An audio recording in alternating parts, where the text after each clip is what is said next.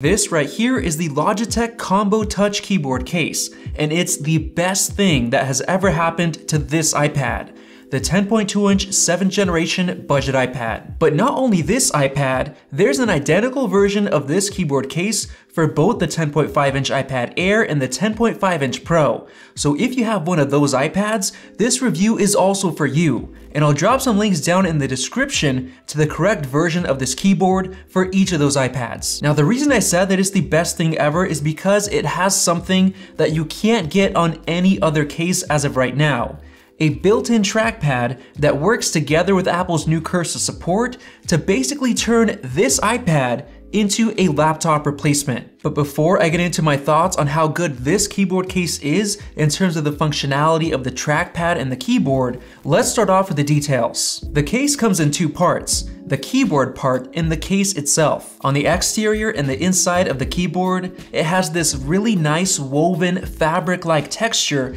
that seems to be made out of plastic, so it should be fairly stain resistant. The keyboard portion can actually connect by itself without the case by simply bringing it close to the smart connector.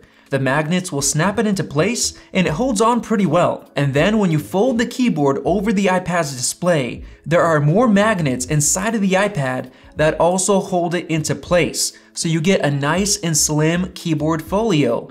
But the downside is that there's no kickstand to hold the iPad upright. And that's where the case portion comes in. With the case on, it becomes a lot more thick but after using it over the weekend, it's actually not that bad considering everything you're getting with it. First off, the built-in kickstand is really solid, and I'm very impressed with how well Logitech balanced it, with it being very easy to adjust and very sturdy at the same time. This gives you a really nice variety of viewing angles, you could set it almost 90 degrees upright, or you can lay it down flat, pointed up towards the ceiling, or you can even fold it all the way down and lay it flat on a table. And at that point, you can take off the keyboard case and just have it in tablet mode, which is perfect for using the Apple Pencil. And then again, you can prop it up using the kickstand so you can watch a movie without having the keyboard in the way. And thanks to the extra thickness, you're getting an extremely solid case. The sides are made out of a really solid rubber material, so you should get great drop protection without worrying about it cracking. And you can see how thick this rubber is by looking at any of the cutout holes. Now that is a durable case. The case also comes with a little sleeve on the top for the Apple Pencil, so I'm really happy that the only compromise of this case is that it's just a bit thick. And I'd rather have that instead of having a case that isn't very durable or has a crappy kickstand that isn't solid. So props to Logitech for that. Now moving on to the keyboard portion, when you first connect this keyboard, you'll be asked to download the Logitech Control app. Within the app, you can adjust the duration that the keyboard backlighting will stay on and the speed at which it fades off. And I'd highly recommend everyone to keep the update notifications toggle enabled so that you can keep the firmware up to date. Now before we talk about the quality of the keyboard, let's first talk about the trackpad. Since they have to keep it slim and there's a limited amount of power that can go through that smart connector, this case gets a traditional trackpad which isn't on the same level as the Force Touch motorized one that comes in a MacBook. So that means that you get a diving board design meaning that it's hard to click near the top and very easy near the bottom. That's really my only complaint about it since it feels like you really have to push down sometimes to click. But thankfully, you can go into the settings, then general, trackpad, and you can enable tap to click which I fully recommend everyone to use. Alongside that setting, you can adjust the tracking speed or toggle the natural scrolling setting if it seems like your swipes on the trackpad feel reversed. And finally, there's the two finger secondary click setting, which is extremely important to me because you no longer have to tap, hold, and wait for additional options to show up. You simply use two fingers to tap and it happens instantly. So this trackpad becomes incredibly useful when you want to do things like drag and drop. For example, just simply click and hold on an image in the Files app and drag it over into Google Drive while in split view mode. Now one of the features that I don't like about the new cursor support is how the cursor morphs into various buttons as you hover over them. Now there is a way to turn this off, but only if you have a mouse connected. But what a lot of people don't know, including a lot of the early reviewers, is that you can actually hook up a mouse just one time to change the settings, and then when you disconnect it, those settings will be saved for the trackpad on this keyboard case. So as you can see, I've connected a Bluetooth mouse, and now when I go into the accessibility settings, I have a new pointer control page. There, I can adjust various things like increasing the contrast, the color, the size of the pointer, I can increase how long it takes for the pointer to hide after inactivity. I can turn off trackpad inertia, which I find extremely annoying since the cursor keeps moving after you stop touching the trackpad, which can lead to inaccuracy. I can increase the speed of scrolling for things like scrolling up and down on a website. And finally, I can turn off the pointer animations feature that I dislike so much. Now, when I go to the homepage, the cursor no longer morphs into buttons, so it feels a lot more like a traditional cursor. And the best part is that when you disconnect your mouse and put it away, all of those changes are saved and it works perfectly on the trackpad. Now perhaps the most important thing that you need to learn about the trackpad is the gestures. And once you get the hang of them, your productivity will go through the roof. Of course, you can use two fingers to swipe left and right or up and down. When on the home screen, swipe down with two fingers to access Spotlight Search. When viewing a photo, use two fingers and pinch to zoom in and then spread them to zoom out. Or alternatively, you can double tap on any section you want to zoom into. Use three fingers and swipe left and right on the trackpad to switch between recent apps. Use three fingers and swipe up to get to the home screen.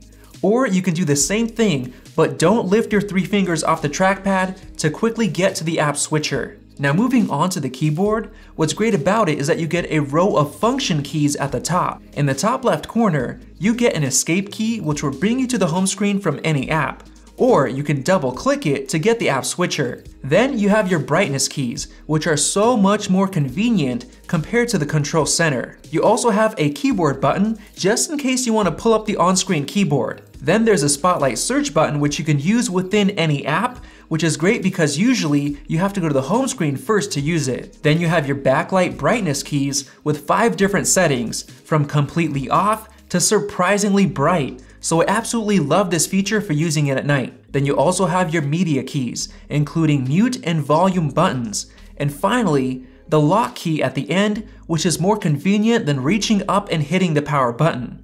And if you hold it down, you can actually power off your iPad. On the bottom row, you get the same control, option, and command keys that you get on a MacBook, and you even get an additional globe key that you can use to instantly bring up emojis, or you can tap it again to quickly switch between languages. And the best part about the keyboard is that it supports all of the same shortcuts you have on a MacBook. For example, Command H brings you to the home screen. Command Tab shows a list of all of your apps, and you can continue hitting the Tab key to cycle through them, and even hit the Q key to close them.